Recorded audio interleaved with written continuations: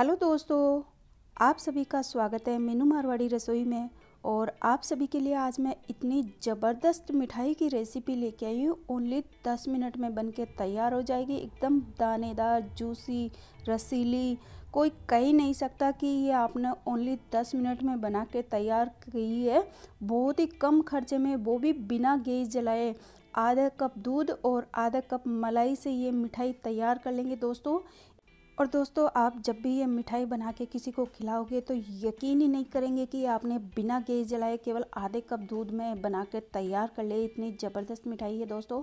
तो उसके लिए दोस्तों, आप रेसिपी को पूरा ज़रूर देखिए और रेसिपी देखने के बाद अगर आप सभी को पसंद आती है तो अपनी दोस्त फैमिली के साथ इसे ज़रूर शेयर करें और चैनल को सब्सक्राइब करके बेलाइकन का बटन ज़रूर दबा दें ताकि आने वाली नई रेसिपी सबसे पहले आप तक पहुँचे। तो प्लीज़ दोस्तों सपोर्ट ज़रूर किया करें। आपके सपोर्ट करने से मुझे बहुत ही मोटिवेशन मिलता है नई नई रेसिपी लाने के लिए।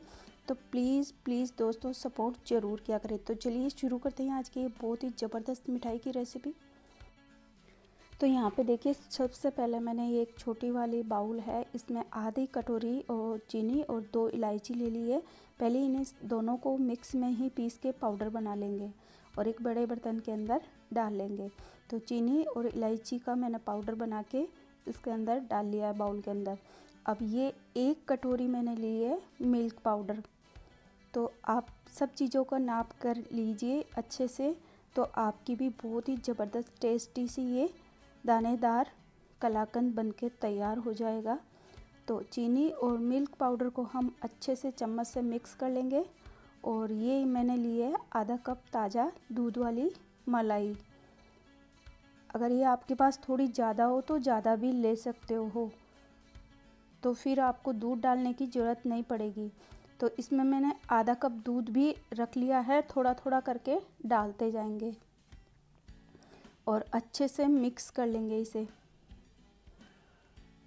और इसमें डालेंगे थोड़ा सा दो तीन बूंद केवड़ा एसेंस, ताकि इस मिठाई के अंदर बहुत ही अच्छा फ्लेवर आएगा। तो ये हमारा बैटर तैयार है और इधर मैंने ये लिए छः ब्रेड। इसके जो ये ब्राउन पार्ट है, इसको हम हटा देंगे। अच्छे से पूरे ब्राउन पार्ट को हटा देंगे। इससे हमारा कलाकंद बहुत ही दानेदार बनेगा और इसे डालने से इसके अंदर बिल्कुल भी ब्रेड का फ्लेवर नहीं आएगा दोस्तों। एक बार आप ज़रूर बनाइए। तो ये देखिए मैंने छः ब्रेड के टुकड़े करके पीस के पाउडर बना लिया है मिक्सी जार में। और ये हमने पाउडर बना के तैयार कर लिया है और इधर ये हमारा मिल्क पाउडर का जो बैटर हमने बनाया था वो है। इसी के अंदर इस पाउडर को डालेंगे और अच्छे से मिक्स करेंगे। ब्रेड के जो हमने पाउडर बनाया था उसको डालते जाएँगे अच्छे से मिक्स करेंगे। बहुत ही अच्छे से मिक्स करना है। तो दोस्तों, अगर आपका यहाँ पे थोड़ा ड्राई रहे तो एक चम्मच दूध या एक चम्मच मलाई की ओर डाल सकते हो। लेकिन हमारा जो हमने परफेक्ट रेसू लिया था, उससे परफेक्ट बन के तैयार हुआ है। और आप चाहे तो इसे इसी तरीके से ऊपर से ड्राई फ्रूट डाल के सर्व कर सकते हो। लेकिन इसे हम थोड़ा सा सेट होने देंगे और पीसीस में काट के फिर इसे यूज़ लेंगे। तो यहाँ पे मैंने ये डिब्बा लिया है और इसमें बटर पेपर ज़रूर लगाएँगे दोस्तों, नहीं तो हमारी ये मिठाई निकलेगी नहीं बाद में। तो बैटर पेपर को थोड़ा सा घी से ग्रीस कर दिया है मैंने और ये हमारा बैटर, जो दानेदार बैटर बना है, कलाकंद का, वो इसके अंदर डाल देंगे, ताकि इसे पीसेस में काट सकें। तो ये दिखने में बहुत ही अच्छा लगेगा और जितना दिखने में अच्छा लगेगा, खाने में उससे ज़्यादा टेस्टी है। तो आप देख सकते हो दोस्तों कितना दानादार बना है इस तरीके से। आप चाहे तो इसे इसी तरीके से भी सर्व कर सकते हो।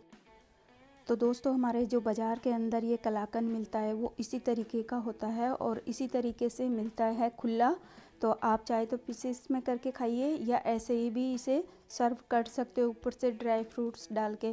तो दोस्तों, आपने कभी देखा हो तो देखा होगा, इतना ही दानेदार ऐसा ही होता है, कलाकंद भी बोलते हैं मिश्री मावा भी बोलते हैं। तो इसे सेट होने के लिए हम रख देंगे, इस पर थोड़ी सी गुलाब की पत्तियाँ, ड्राई फ्रूट्स डाल देंगे। तो ये मैं यहाँ पे पिस्ता डाल रही हूँ। पिस्ता से बहुत ही अच्छा लुक आता है इसके ऊपर। तो दोस्तों, आप देख लीजिए, कितना शानदार लग रहा है हमारा ये कलाकंद। तो इसे आधा घंटा हम फ्रीज में रख देंगे। अगर आपके पास टाइम हो तो एक घंटा भी रख सकते हो इसे फ्रीज में। चाहे तो आप इसी तरीके से भी सर्व कर सकते हो। तो देखिए, मैंने आधे घंटा ही फ्रीज में रखा है और इसे निकाल लेंगे अब। तो ये हल्का हल्का सेट हो चुका है, पूरी तरीके से नहीं हुआ है हल्का हल्का हुआ है, लेकिन जो कलाकंद होता है, वो इसी तरीके का होता है, जिस तरीके का होता है, उसी तरीके का मैंने ये बनाया है। आप चाहे तो इस तरीके से इसकी पीसीस काट लीजिए। और दोस्तों, जो मार्केट का कलाकंद या मिश्री मावा होता है, एकदम हल्का सा जूसीला दानेदार होता है तो उसी तरीके का ये हमारा जूसीला दानेदार बन के तैयार हुआ है। और दोस्तों, लग रहा है ना एकदम बाज़ार जैसा ही, और इसे देख के कोई बता ही नहीं सकता कि आपने घर में बना के तैयार किया है ओनली दस मिनट में। तो आप खुद देखिए कितने दानेदार, कितना जूसी हमारा ये कलाकंद बन के तैयार हुआ है दोस्तों। जब मैंने ये बनाई थी तो मेरे को खुद को यकीन नहीं हुआ कि इतना ज़बरदस्त ये हमारी मिठाई बन के तैयार हुई है। तो आप खुद देखिए दोस्तों, कितने शानदार बना है हमारा ये कलाकंद। बिना गैस जलाए ओनली दस मिनट में बन के तैयार। और दोस्तों, ये जैसा दिख रहा है ना, उतना ही ज़्यादा टेस्टी भी है। ये नहीं कि ये टेस्टी नहीं है और इसमें ब्रेड का फ्लेवर बिल्कुल नहीं आ रहा है। दोस्तों, आप एक बार ज़रूर मेरे कहने पे बनाइए। ये बहुत ही ज़बरदस्त बन के तैयार होता है इस तरीके से। और दोस्तों, आप सभी से एक निवेदन है छोटा सा अगर आप सभी को मेरी मेहनत पसंद आई है तो वीडियो को लाइक, शेयर करिए और चैनल को सब्सक्राइब करके सपोर्ट ज़रूर करिए। और दोस्तों, आपके सपोर्ट करने से मुझे बहुत ही मोटिवेशन मिलता है तो प्लीज़ प्लीज़ दोस्तों, सपोर्ट ज़रूर किया करें। और वीडियो देखने के लिए दिल से धन्यवाद। Take care. मिलते हैं फिर अगली ऐसी एक